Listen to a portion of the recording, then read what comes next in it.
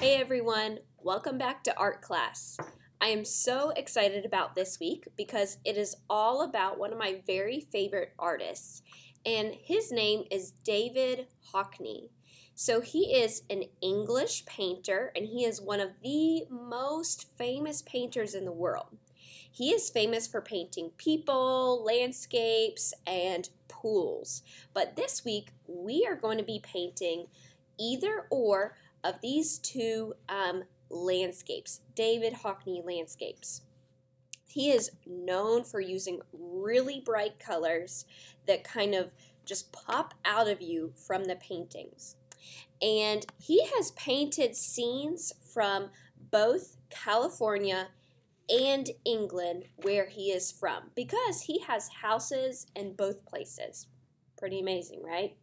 All right, so in this video, we are going to learn how to draw these landscapes so that in our next video, we will know exactly where to apply our paint. You guys already have all of the color mixing skills from our last lesson in week one, so you will be ready for this week. Today, I'm going to talk about how to draw this one. And this one, if you like um, um, this landscape better, you can definitely draw that. But I'm going to show you how to draw this one. And this painting is called Pacific Coast Highway in Santa Monica. And it was painted in 1990, about 30 years ago. Okay. All right. So, what do you need? You need pencil, eraser. You need to have that picture um, right in front of you. That can be on your computer screen or you can print it out. And you'll be ready to go. All right, let's get set up here so we're nice and ready. So I have already done the drawing before, but now it's time for me to show you. So like always, follow along with me if you want to, or watch the video and then do it on your own.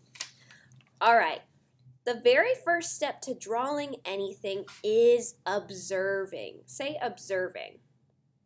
Observing. What does that even mean? Observing is a way to say you are looking at the picture, but it's more than just looking you're kind of studying it. You're looking for shapes. All right, there's a triangle. There's a kind of U shape. Here is a triangle. Here's a U shape. Hmm, I see that there's blue colors in the background and greens and reds in the foreground and uh, like a pink on these mountains. Right now we're looking for lines, but it's good to notice the color too. All right.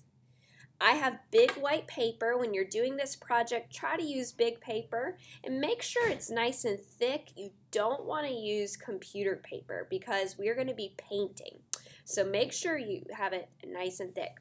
I'm going to write my name and then I flip it over and I'm going to draw on this side.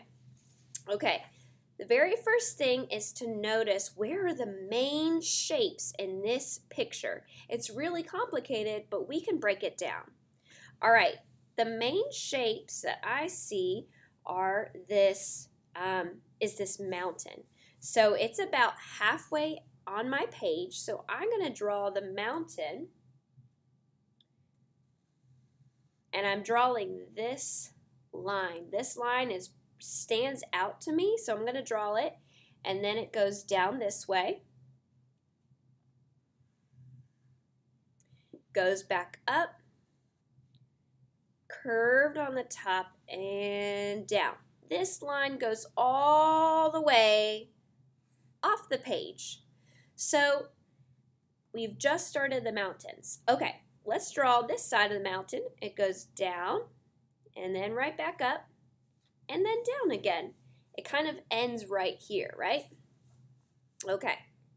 All right. It has some blue parts in the mountain, so I'm going to add those. That's just like a little shape. I know that this represents this little blue shape right here. That's what I'm looking for. There's one little mountain in the background right here. Boop, boop. Okay. All right. Then this line kind of curves to here. There's a line right here I'm going to draw. These are the shadows of the mountain. And here. There's a line here. Oh, actually, there's a big swooping curve. So I'm going to add that in. That's nice and um, important in the picture. Big curve. There's these like little trees up here. I'm going to draw those. I'm not really adding any texture or any detail. I'm really just drawing the basic shapes that I see in this landscape painting. I'm drawing this um, triangle right here, this yellow triangle. Okay. All right. Look how this, it looks like a little ocean right here. So I'm going to draw that.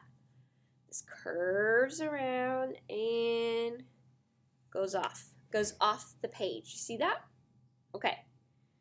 Up here you can see a sliver of land. So I'm going to draw just from the top of my page, making sure that it's kind of close to the mountain. I notice, oh, that starts about where that mountain tip is. That's what you're looking for. Where do these shapes start and end? Little shape here. Okay. All right. Let's move over to this side. There are some mountains in the background, much smaller than these. So let's add those in. Okay, let's see one that goes up. Mine are not going to look exactly like David Hockney, but that's okay. All right, there's these three little mounds. I'm going to add those.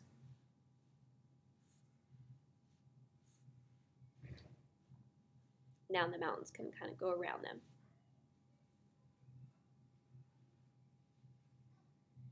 If you're watching this and you're like, Miss Wright, this is too complicated, just take it one step at a time. Again, if it's feeling complicated, just follow along with me and you can just make exactly my drawing that I'm doing. But also don't be afraid if whenever you finish drawing your picture, if it looks different from his. Because the point is just practicing observing, but it's not trying to be um, perfect. Okay. Again, mine is not perfect at all. Not not everything is going to line up perfectly. Okay, remember when we drew this big curve right here? That's this line in the picture. You see how that's a big curve? We're to stop, stop it here and then send it back. This becomes like this windy road on the hill. So we're to go here, kind of goes down there, and then it starts curving.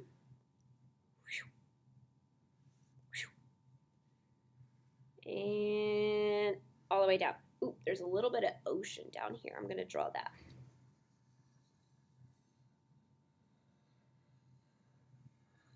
Okay. Here's this road. It almost like ends in the ocean, all right? Nice and thick up here. And as it gets farther away, farther away from us, it gets smaller. So when you are making landscape paintings, things that are closest to you, that's called the foreground, things that are closest to you are bigger, right? And then the things that are far away are smaller, or you draw them smaller. And that is a trick that artists use to draw things um, to make them look 3D. All right, this, ma- uh, this mountain goes like this. I'm going to draw a line here, zigzag it on the way down, kind of curves, woo, like that. It goes back up. Okay. So this is not perfect down here, but I'm okay. I'm gonna, I'm gonna just keep going with it. That's okay. Woo. I'm just following my pencil, following my lines. Have you noticed that I haven't really used my eraser? That's because I'm not too concerned about this being perfect. I'm also not using sketchy lines like that. I'm just drawing continuously. That means I don't pick up my pencil really. I'm just keep I'm just looking at the picture and then I'm drawing. That is the most important thing. All right, I'm drawing this big shape right here. It kind of curves and curves around. Woo. Curves this way and then meets that. Okay, that's good. All right, here we go. There's a little road starting up here.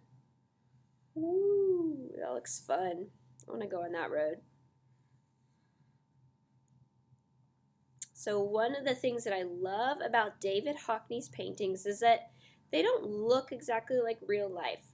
This is inspired by a real place, which is Santa Monica in California, but it's not supposed to look exactly like that place.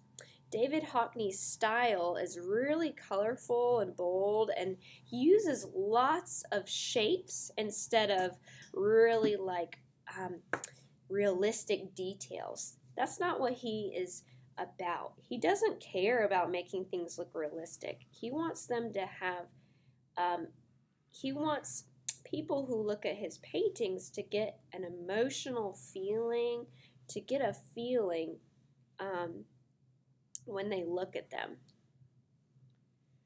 So this is really bright and colorful, reminds me of summer. Drawing this tree over here.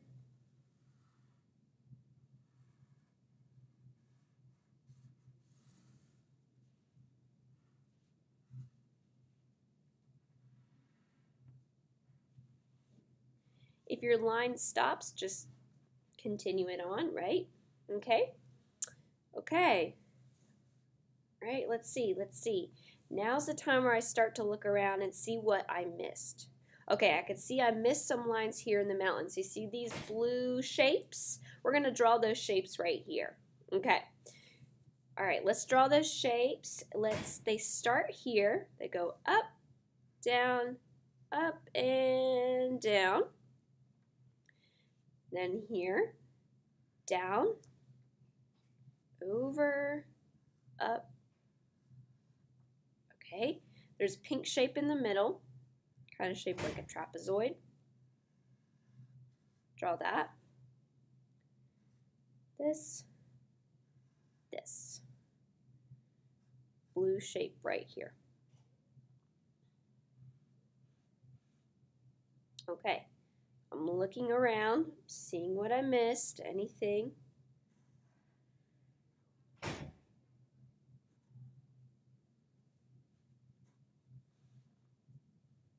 Mm -hmm. I see, oh, there's some like orange plants down here, so I'm going to add those in. So I know to paint those orange.